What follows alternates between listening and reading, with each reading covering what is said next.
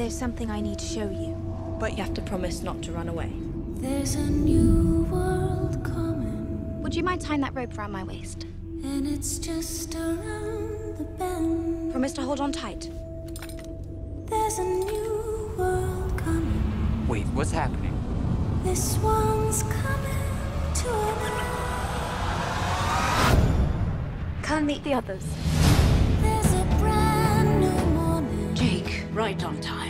Miss Peregrine, delighted to meet you. sweet and free. He's invisible. Of course, we're what's known in common parlance as peculiar.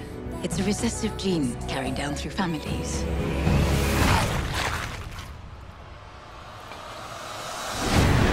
Air. It's my peculiarity. Because our abilities don't fit in the outside world, we live in places like this. To keep us safe, we create a time loop. A loop preserves the last 24 hours. Reset the loop, and you can stay here forever. I knew you were one of us when you were born. It's time for you to learn what you can do. I'm just ordinary. No, you're not. You were born to protect us. From what? We call them hollows. For centuries, they've hunted us for our powers. I assure you,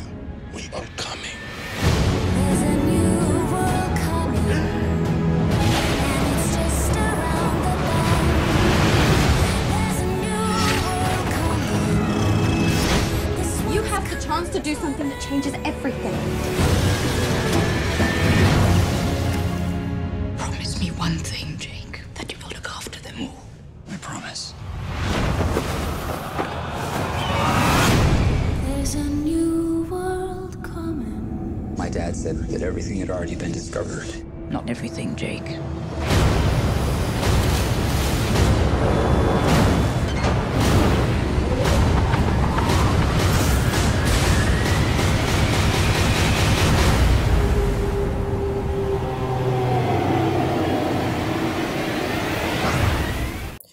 Really hope you had a safe and enjoyable weekend wherever you reside in your neck of the woods. You know, so much of chaos took place this past weekend with the military coup happening in Turkey. I believe that is still playing out.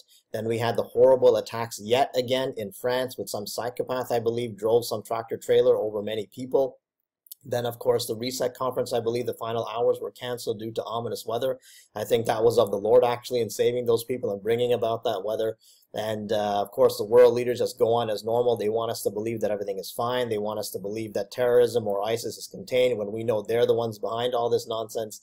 But you know what? What I really want to bring to your attention today is just major programming to the max, I believe, with a movie that is coming out September the 30th. Yet again, from the Luciferian elites that keep the programming going. I believe it's ramping up like crazy. This September, a movie is coming out called Miss Peregrine's Home for Peculiar Children one of my awesome sisters in Christ, a dear friend of my wife and I, she told us about this trailer, and I was just floored uh, when I just saw the trailer for this movie. I'm not even going to bother breaking down symbolism because honestly, it is just in your face. You know, you saw the clip, you know, before uh, earlier on in this video, and there is just so much going on there. And like I said, I'm not going to bother breaking down any symbolism because it is so in your face as to what is coming even the song that you heard playing in the background in this trailer talking about a new day is coming which we'll talk about those lyrics in, in a little while but this movie miss peregrine's home for peculiar children just is just major major programming to the max and if we just look at some of the at some of these things i'd like to talk about this movie and talk about some background even as to other movies and how we've been programmed for this for for decades. And uh, you know if we go to imdb it says that when jacob discovers clues to a mystery that spans different worlds and times he finds miss peregrine's home for peculiar children.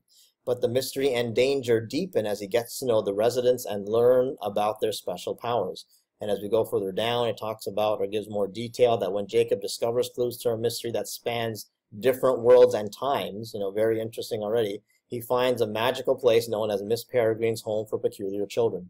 But the mystery and danger deepen as he gets to know the residents and learns about their special powers and their powerful enemies. Ultimately, Jacob discovers that his only special peculiarity can save his new friends. Okay, so this is all about, you know, uh, powers, all about abilities, special abilities that these children have.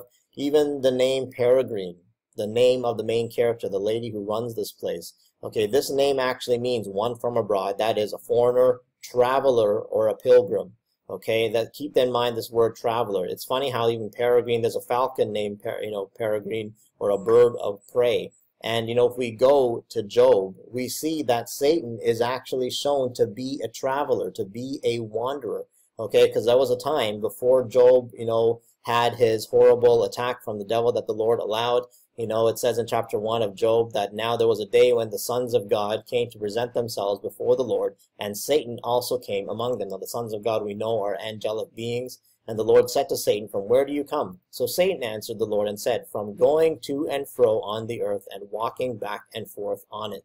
This, I believe, Miss Peregrine is symbolizing Satan, the traveler, the wanderer, going back and forth between the earth, okay, and doing his business. As the Bible says, he is a roaring lion, seeking whom he may devour. He prowls around, seeking whom he, he may devour. I believe this is what Job shows us, that Satan is a traveler, he is a wanderer. And just to start getting into what we've been programmed for so many years now, ah, you're to, you know, I'm going to date myself here, but uh, I was born in the early 70s. So from the early 80s, my programming about superheroes and these, you know, uh, beings with special abilities, you know, began in the 80s. Of course, we all remember Christopher Reeve and Superman. You know, Christopher Reeve was a very beloved character. But Superman, you know, many people, you know, love this movie. Of course, we have the modern depictions this day, which is, of course, very fascinating. We love the special effects. I still love these stories, and, you know, I love watching these things, especially now being awake and decoding and seeing the messages that are there.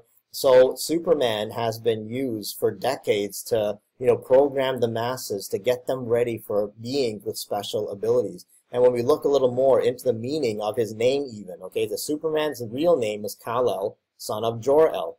The suffix El, of course, means of God in Hebrew, with Kal-El defined as some as voice of God. Okay, before Krypton's doom, Kal-El's parents put him in a Moses-like basket, sending him down the Nile of intergalactic space until he landed safely on Earth.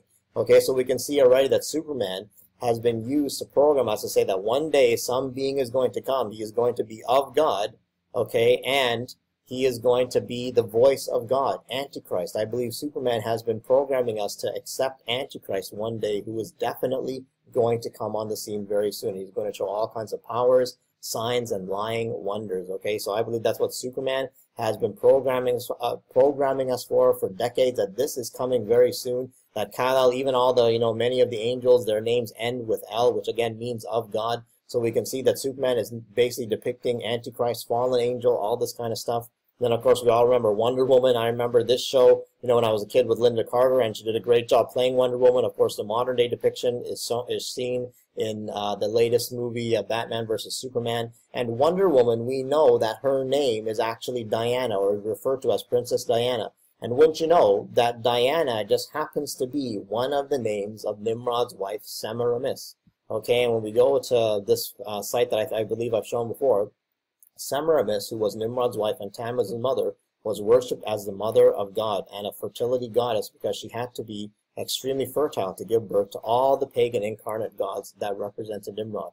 Where Nimrod is the sun god, Semiramis is the moon goddess. She was worshipped throughout the world by each of the titles associated with Nimrod's worship in addition to many titles unique to herself. For instance, the respective Greek and Roman names applied to the worship of Semiramis include Aphrodite and Venus, the goddess of love, Artemis and Diana, there you go, the goddess of hunting and childbirth. Okay, so we know that Wonder Woman is a hunter, she's mighty, she can even fly, she can do sim similar things like uh, like Superman. So again, fallen angel, Nephilim, you know, pagan stuff is going on here. The fact that uh, Wonder Woman's name is actually Diana right away should signal to you that this is none other than Semiramis. Even in uh, the Ephesians, they worship the same deity. We'll see, you'd see that in the book of Acts. Okay, so Wonder Woman is none other than a depiction of another fallen angel or Semiramis herself, the moon goddess, Ishtar, Isis, whatever you want to call it, which is also depicted by the Statue of Liberty. Okay, so this is what Wonder Woman represents, and I believe Superman represents the coming of Antichrist one day, okay? Because people need to realize that in Genesis 3.15, right in this verse, we see God saying to the to the serpent when he cursed him, he said, "I will put enmity between you and the woman, and between your seed and her seed. He shall bruise you on the head, and you shall bruise him on the heel." Okay, so that was a prophecy right from Elohim, the great high God, the Most High God, when he cursed the serpent, you know, for deceiving Eve in the garden, for taking the fruit. And so this right here, I believe that if we as Christians don't understand what is going on here, that we will never understand spiritual warfare because this clearly shows that Satan has seed, not just the woman, but Satan has seed himself. He has a line of, uh, with his fallen angels, a uh, demon devil seed that has been uh, also growing up with mankind. We, many of us who have been researching this know that the devil has seed, knows that the fallen angels, the Nephilim, you know, the Illuminati, they're all part of this nonsense, okay? The seed of the serpent is definitely, you know, been on the earth for a very long time, and even though the flood took many of it away, that's another thing we need to realize, that something that the church doesn't preach on is the fact that the flood was really about the work of the fallen angels, the sons of God, as God says right here in Genesis 4. And there were giants on the earth in those days and afterward, when the sons of God came into the daughters of men, and they bore children to them. Those were the mighty men who were of old, of renown. Okay, so the mighty men, Superman, he's known as a mighty man. Wonder Woman, known as a mighty woman. Okay, so these kinds of things were happening way back, you know, in Genesis 6. Okay, this already is showing the seed war where Satan and his fallen angels came. They had, they mated with, with the daughters of men, the demigods, or whatever you want to call them, half-bloods, people that were born half angel, half human. They had quite the abilities. This, I believe, was the real reason for the flood. And Noah was the only one that was perfect in his generations. He walked with God. God saw that he was pure, not just spiritually, but also physically. He was not corrupted. Okay, so I believe this was the real reason for the flood, that God had to put a stop to the work of the fallen angels. Of course, we see later on in Genesis 10 that it was starting to happen again, you know, where it says that Cush begot Nimrod, and he began to be a mighty one on the earth. He was a mighty hunter before the Lord, before therefore it was said, like Nimrod, the mighty hunter before the Lord. And the beginning of his kingdom was Babel, Erech, Akkad, Calneh, and the, in the land of Shinar. From that land he went to Assyria and built Nineveh, Rehoboth, Ur, and Calah. Okay, so we can see that Nimrod was the one who built Babel, that Babylon, Babel, Shinar, this is all where the mystery religions all came from. They originated in Nimrod, and the fact that uh, he became a mighty hunter before the Lord. Now, this is actually, if we look in the uh, in the lexicon for this particular passage, a mighty when it says he became a mighty one. Okay, the Hebrew word is gibor, which means strong and mighty. But when you dig more into this word Gibor, you'll see that it means powerful, by implication, warrior, tyrant, chief, uh, champion, exile, giant, okay, man, mighty. So there you go. I believe Nimrod became a giant, just as Genesis 10 says that he became. Even Tom Horn, L.A. Marzulli, they talk about this, where Nimrod, he may have been born as uh, he was, he probably looked human from the beginning, but as he grew up, I believe he had the fallen angel, Nephilim, you know, gene in him. Many suspect that his his mother uh, had these genes in her, and if you do some research, I believe Mark Flynn and some other uh, researchers are really good at uh, breaking down and seeing, showing you the history of Nimrod, as are people like Tom Horn and L.A. Marzulli. But Nimrod, I believe, as as Tom Horn says, he began to be a mighty one. He began to be a giant. So later on in his life, as I like how Tom Horn describes that he was a diabetic, but he wasn't a diabetic his entire life. He began to be a diabetic later on in life. So with Nimrod, he began to be a giant or a mighty one later on in his life. And that's when, uh, you know, Babel, the Tower of Babel, all these things that he tried to do, he was the first Antichrist figure. I fully believe that he was a giant, or it's very possible that Nimrod was a giant. He began to be a giant, a mighty one. Uh, I believe that he had the gene in him. Or some believe that he may have done something to himself he altered his DNA in some way, possibly had, you know, secrets of the mystery uh, of the fallen angels and the mystery religion and did something to himself to alter his DNA. Something like that, I believe, was going on with Nimrod. And something that we need to remember is uh, there's a prophecy in Isaiah 13, which I believe this movie is pointing to, okay, where it says that I have commanded my sanctified ones. I have also called my mighty ones for my anger, those who rejoice in my exaltation. Uh, this is a proclamation against Babylon. Okay, uh, the Lord God is is saying that the kingdom of Babylon is going to be finished once and for all one day. And it's interesting in verse thir- verse three of chapter thirteen is I have commanded my sanctified ones. I have also called my mighty ones. Okay, now we saw mighty already is Gibor, which means giant. Okay, so if we go to again to the lexicon and we see this verse there talks about again my mighty warriors Giborove strong, mighty. If we go back down, if we dig more into that word, we will see again giant, Gibor, giant. Okay, so I believe that this passage is clearly showing us that uh, that judgment is coming and that God is going to send a mighty flood of these fallen angels yet again. If we go to the Septuagint of the Bible, which is the Old Testament in the Greek, which is which is I believe the same Bible that Jesus and his disciples used. Okay, it was uh, basically uh, the Greek version of the of Hebrew, and it was uh, this is the English translation of it. So if we go to chapter 13 of Isaiah, which is called actually Esaias, it clearly says, verse 3 of chapter 13, it talks about lift up a standard on the mountain of the plain, exalt the voice to them, beckon with the hand, open the gates, ye rulers. I give command, and I bring them. Giants are coming to fulfill my wrath, rejoicing at the same time and insulting a voice of many nations on the mountains, even like that of many nations, a voice of kings and nations gathered together. The Lord of hosts has given command to a warlike nation to come from a land afar off, from the utmost foundation of heaven. The Lord and his warriors are coming to destroy all the world. Okay, so this, I believe, is a prophecy of the end time. The Lord himself has shown Isaiah that giants are coming. This is the Greek translation of the Hebrew.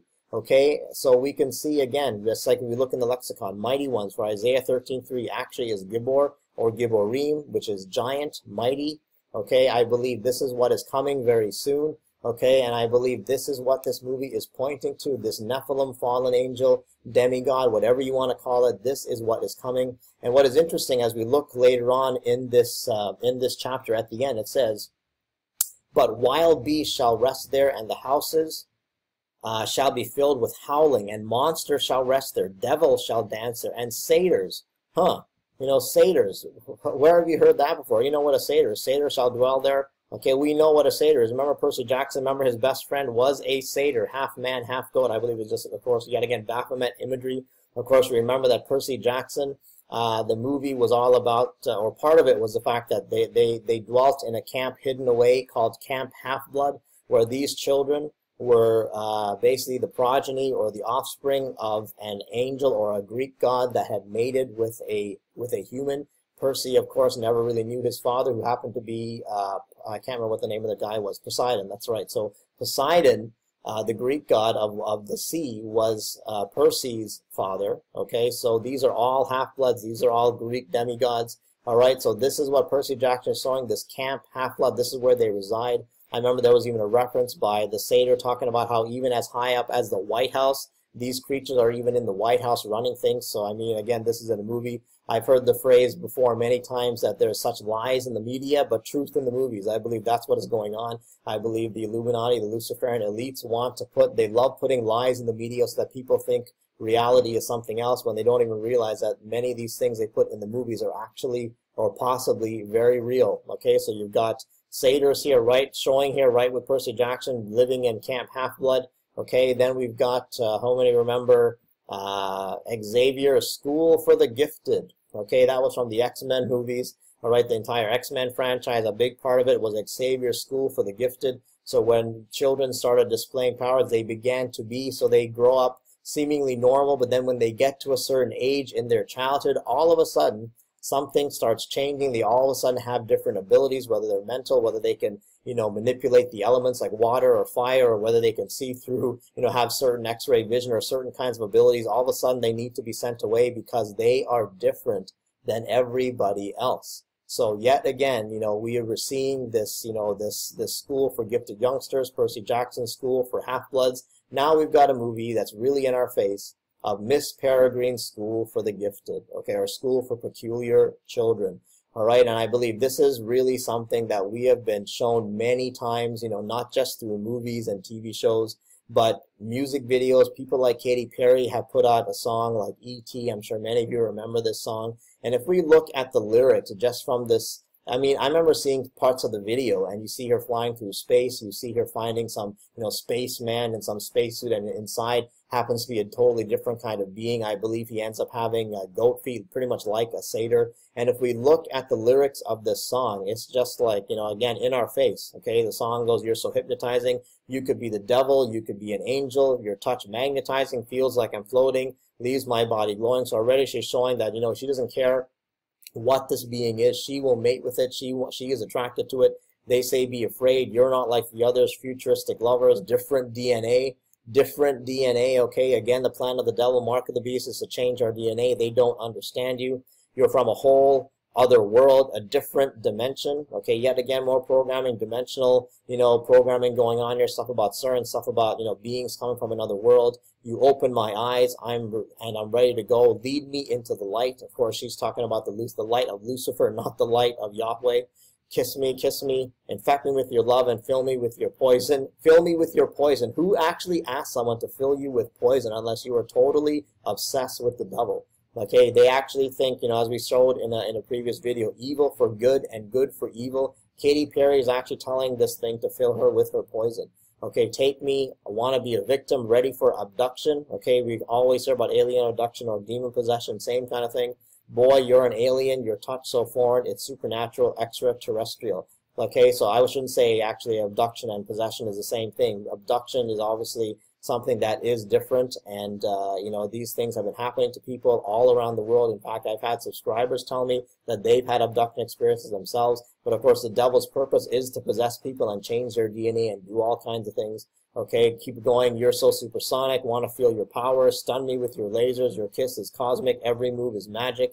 You're from a whole other world a different dimension. You open my eyes. I'm ready to go Okay, so I, obviously you can get the idea of what this song is saying. Okay, so Katy Perry is singing literally to the devil. She is showing how you know glamorous it would be to have you know relations, sexual relations with a with a different being other than a human. She doesn't care if it's a devil. She doesn't care if it's an angel. So basically, she is saying she is totally fine with having sexual relations with a devil. All right. So again, we are being shown this many times. You know, then one of the characters in the movie is played by Samuel L. Jackson. He plays the main bad guy, as we saw in that trailer. He comes after these children. He comes after these, you know, supposed gifted, you know, children. He has obviously he has his agenda. I guess he's trying to destroy them. And uh, you know, we can see even the the contrast, the the black and white. You got the, the the white hair, the white eyes, the black outfit. Okay, again showing the duality, dark and light. Okay, so he wants to come against, you know, what we think are the good guys. So Miss Peregrine's bunch are the good guys. Okay, they want to use their powers for good, I believe. And uh, but Samuel L. Jackson and his cohorts, they have a different agenda. They are trying to fulfill something else. And I believe this is yet again right from the Word of God. If we go to Daniel 8, you know, it's a vision that Daniel had, a vision of a ram and a goat. And when you look at verse 5 in chapter 8, says that as I was considering, suddenly a male goat came from the west across the surface of the whole earth without touching the ground. And the goat had a notable horn between his eyes. I find that really interesting right there, without touching the ground. Fallen angel, able to fly. They don't have to touch the ground. We saw that even in that trailer as a girl was able to fly. Many movies of X-Men, Superman, they can all fly. Okay, later on it says, and out of one of them came a little horn, which grew exceedingly great toward the south, toward the east, toward the glorious land, and it grew up to the host of heaven. I believe this is again depicting a giant, the return of Nimrod, as Nimrod was began to be a mighty warrior, began to be a giant. He grew up to the hosts of heaven, cast down some of the hosts and some of the stars to the ground, and trampled them. So yet again, the stars are reference to angels. I believe that this, when this Antichrist comes, they are going to stage, along with the Illuminati, an alien war with good aliens, bad aliens, which will be none other than the fallen angels. They are not alien; they are fallen angel and demonic entities. They're going to stage, I believe, a false uh, flag alien invasion, and they're going to be good ones and bad ones. So this Antichrist is going to come. They're going to simulate an alien war. He's going to cast down some of the hosts and trample them. So he's going to kill some of them himself and show that he's a hero. Later on in the prophecy, it says that the male goat is the kingdom of Greece. The large horn that is between its eyes is the first king. So that would have been Alexander the Great. As the as the as for the broken horn and the four that stood up in its place, four kingdoms shall arise out of that nation. So we know that after Alexander the Great died, Greece split into four or was run by four other kings, okay, but not with its power. But then there's going to be one more king that rises up out of this kingdom, okay? So I believe, and it says in the latter time of their kingdom, when the transgressors have reached their fullness, I guess that's talking about the sin of the world, you know, reaching its fullness, a king shall arise having fierce features. I believe this king is none other than the Antichrist, the little horn, I believe that when it talks about kingdom of Greece, I believe that is actually referring to the angelic kingdom. You know, lots of times when the Bible makes references to a prince, to a king, or to a kingdom, it is not necessarily a kingdom of man or a prince of man. I believe that kings and princes and kingdoms can also refer to the spiritual kingdom, all right, to the angelic kingdom, the fallen angel kingdom. So even if we look in another chapter in Daniel 10, where Daniel has the, has another vision, okay, and when Daniel was praying, uh, this this angel says to him, "But the prince of the kingdom of Persia withstood me twenty one days, and behold, Michael, one of the chief princes, came to help me, for I have been left alone there with the kings of Persia." So right, oh, right we can see that this uh, prince of Persia is a fallen angel entity that is warring with this angel that was going to bring Daniel a message. And Michael, one of the chief princes, yet again an angel being referred to as a prince, rose up and helped this particular angel, which I believe could have been Gabriel, so that Gabriel could come to Daniel and deliver the message from God that he was praying for. Okay, so we can see that princes and kingdoms and kings can also be references to angels. So I believe that this kingdom of Greece, yes, there was, you know, um, uh, Alexander the Great, he was a king, then the four kings that arose after him. I believe this final king, the final little horn, is from the kingdom or the fallen angel kingdom of Greece, Mount Olympus, Zeus, you know, Poseidon, all these things that we're being shown. I believe that this is the final kingdom. You know, many think that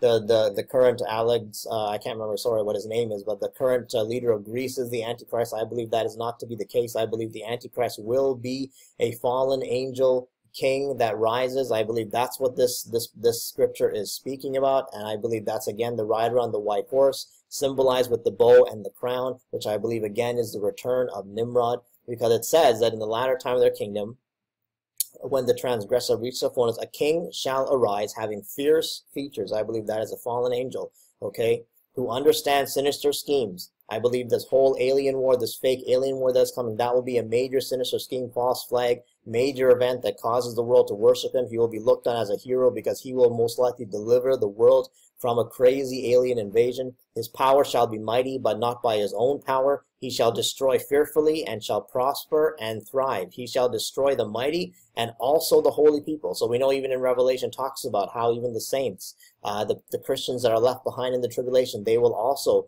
you know, be uh, be um, be able to be destroyed by this uh, horrible uh, antichrist that comes. Through his cunning, he shall cause deceit to prosper under his rule. He shall exalt himself in his heart. He shall destroy many in their prosperity. He shall even rise against the prince of princes, but he shall be broken without human means. Amen. Yeshua HaMashiach is coming to destroy him. So I believe this final king, this little horn, is none other than uh, a fallen angel from the kingdom of, of spiritual Greece, the kingdom of Olympus. We know that Olympus is home of the Greek gods, okay, the pagan gods, Zeus, and all these kind of things. And I believe that's what we what we are being shown constantly. Okay, these fallen angel deities, you know, coming one day. I believe it'll be the final Antichrist that comes from the spiritual kingdom, the fallen angel kingdom of Greece. All right, and again, princes and kingdoms can also be referred to as angels because even the Lord Jesus himself said that kingdom, that nation will rise against nation, kingdom against kingdom, which I believe is God's kingdom versus the kingdom of Satan. All right. So kingdoms and princes can refer to angelic beings as well because you know, again, there's going to be a war between the good guys and the bad guys. Okay, that's what I believe we're being showing constantly the duality, light versus darkness. You know, the, the supposedly good fallen angels or Nephilim beings, half bloods against the bad ones that are coming. They want to have this, you know, major battle and, and have uh, humanity believe that, you know, this this coming savior, this coming, you know, savior antichrist figure is going to come and deliver them.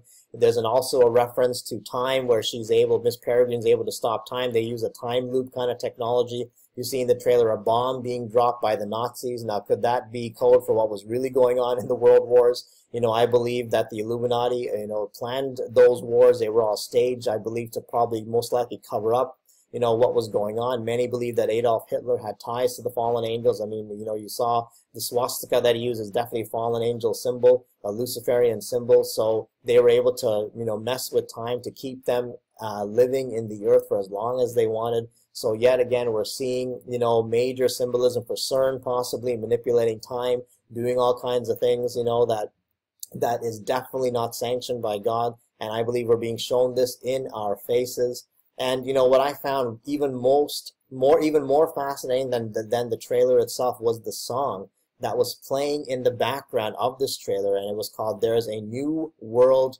Coming." Okay, very very interesting, very very in our face. If we look at the lyrics of this song, okay, it's uh, quite fascinating. It's called "There's a New World Coming," and it's just around the bend. Okay, coming very soon. There's a new world coming. This one's coming to an end. All right, so again, in our faces, that they're clearly showing us that this world, as we know it, is coming to an end very soon. That the new one is just around the bend, just around the corner. There's a new voice calling. You can hear it if you try, and it's growing stronger with each day that passes by. The voice of Lucifer, the voice of the fallen angels. This is what they are talking about. This is what is going on. There's a brand new morning, rising clear, sweet, and free. Okay, Lucifer, son of the morning. Okay, we know that Yeshua HaMashiach is also, you know, uh, the morning, the bright morning star, but Lucifer is also, you know, a son of the morning, as the Bible calls him. I believe the brand new morning, rising sweet and free. This is the dawn of the Luciferian golden age, I believe, is being shown in this song. There's a new day dawning that belongs to you and me. Yes, a new world's coming, the one we've had visions of, coming in peace, coming in joy, coming in love. So, you know, there's only really four stamp, four verses to this song, but you can you see already the in your face? It's not even cryptic anymore. It's just right there. New world coming, new age, fifth age, new world order, whatever you want to call it. The Antichrist is coming. It's just around the bend. It's coming mm-hmm. very soon. There's a new world coming. This one's coming to an end. Even I'm sure you remember in the second Captain America movie, as they said that they have to tear the old world down in order to bring the new. Okay, so they need to kill this world. They need to destroy, you know, the current world system and everything about it, and they need so that they can bring in their Luciferian golden age. This is what the one percent elites are mm-hmm. doing. This is what they are working toward: a new day, a new world. Okay, they they want to bring their Antichrist God. They don't realize that the Antichrist himself is probably going to kill them also. But this is what they want. They are working like crazy around the clock to usher in the new world order, to usher in the fifth age. Okay, and to me, this is all pointing to Second Thessalonians 2, where the Apostle Paul says to the Thessalonians, And now you know what is restraining, that he may be revealed in his own time. For the mystery of lawlessness is already at work. Only he who now restrains will do so until he is taken out of the way. I believe this is the Holy Spirit in the church. The church is about to be taken. I believe that this Antichrist and this new age cannot come until the restraining power of the Holy Spirit is taken away. Then only can all out lawlessness,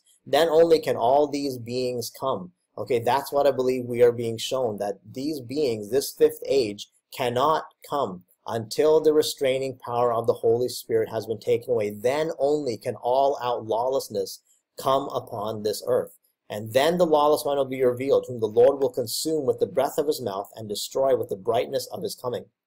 The coming of the lawless one is according to the working of Satan with all power, signs, and lying wonders, and with all unrighteous deception among those who perish, because they did not receive the love of the truth that they might be saved. So the world is going to be sent a strong delusion all of these, you know, beings with powers that seem so great. Again, we have been shown this for decades, for a long time. Okay, again, right from the 70s, even earlier. You know, we've been shown these Superman movies. We've been shown, you know, Wonder Woman. We've been shown so many, you know, things about even X-Men, Percy Jackson, all these kinds of things. Okay, that has been shown to us in our faces for so long. All right, Percy Jackson, you know, again, half-bloods, they all have abilities. They can all do, they're like, they can either, they're either crazy warriors or they have all kinds of powers. They can manipulate water, the elements, all kinds of things. Okay, again, of course, X-Men, they have all kinds of powers, controlling the weather, you know, being able to heal very quickly, uh, being able to cast fire from their eyes, or, you know, all these kinds of things that we've been showing. Again, good old Katy Perry, you know, being a part of the programming, talking about, you know, wanting to mate, have relations, you know, with one of these beings because basically us humans, I guess, are not good enough anymore. And so this is what I believe is coming, that when, when the restraining power of the Holy Spirit is taken away, these beings are going to come on the scene. Just as Isaiah 13 says, that the Lord God, Yahweh, is sending giants to fulfill his wrath because people refused the love of the truth that they might be saved. And for this reason, God will send them strong delusion that they should believe the lie.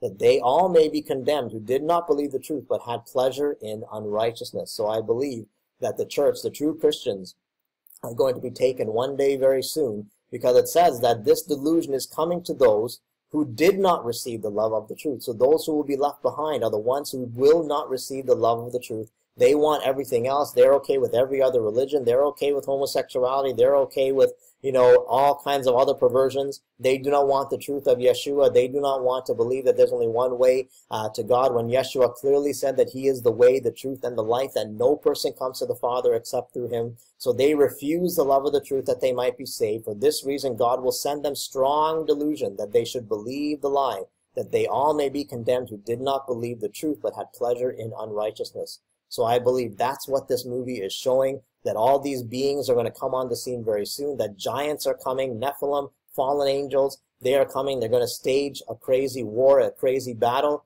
Okay, the good ones versus the bad ones, good ones versus the bad ones. Okay, they're going to stage a crazy war. They are going to make it seem like this final Antichrist figure, the little horn, is going to be a hero. He will deliver the world from a horrible alien invasion, a horrible bad guy, you know, seemingly depicted by Samuel L. Jackson in this movie. And uh, of course, we've got good old Nimrod symbolism here with the bow here, all right, which also I believe symbolizes the uh, the rider on the white horse who has a bow and a crown. But, but other than that, I believe all these you know creatures that are seemingly good that have so many abilities, you know, they are going, they are showing none other than the return of the Nephilim, the return of the giants, the fallen angels, and their progeny. I believe they're already on the earth. You know, the uh, as as as Yeshua said himself, that just as in the days of Noah and Lot, so will be the coming of the Son of Man. I believe that you know the fact that these movies constantly show, whether it's this movie, whether it's X Men, whether it's Percy Jackson, somewhere in some hidden location in some forest, there is this camp, there is a school for gifted children, or a school for peculiar children, or a school for half bloods. All this, I believe, is code for the fact that the governments of the world, along with the Illuminati, Luciferian elite, are hiding these beings all over the world. And very soon, once the Holy Spirit in the church is taken away, once the true followers of Yahweh, of Yeshua, are taken from this world, then the new age can begin. This new age that they are waiting for, a new day. There's a new day coming, this new world coming, this one's coming to an end. That's what I believe is being shown in this movie. The fifth age is about to begin. They are no longer cryptic about it. It is right in our face. We've got homes for special kids for special abilities. They use a time loop to be able to remain in this world for uh, however amount of time they want to. They uh, they're uh, going to stage a war, you know, an alien war, I believe, and uh, the Miss Peregrine even says in the trailer that this gene that these peculiar kids have is passed down from the families to me, showing fallen angel Nephilim bloodlines. That is definitely all over this world, prevalent in this world. I believe that is definitely what is happening. And so these peculiarities that these children have are none other than the, the fact that they are the offspring of fallen angels and Nephilim. That is what I believe is being shown in this movie. Major programming taking place. Again, this movie comes out September 30th. I definitely want to see this movie for myself just to see even more what they're going to be saying in this movie. But if you do watch this movie, watch it with your eyes open, with your spiritual eyes, with your spiritual ears open hear what the Spirit of God is showing you. Do not allow these movies to program you. Watch them for the sake of the information because, like I said before, I believe the, the Illuminati is showing us lies in the media, but truth in the movies. A lot of truth, I believe, is being shown in these movies, and they fool people by thinking, by making them believe that it's just a movie, that it's just fantasy. But I believe that definitely they are showing what is coming very soon. The fifth age is about to begin. So I pray that if you don't know Yeshua, May you put your trust in him. He is about to take his people from this world. He's about to remove his people from this world so that the worst time in human history can begin. And that can only happen once the Spirit, the restraining power of the Holy Spirit, the true Christians, the followers of Yeshua are taken. The bride of Christ is going to be taken. And only then can this horrible and this horrible situation come upon this world. So I pray that if you are not in Christ, may you surrender to him today because the end is coming very soon. God bless you.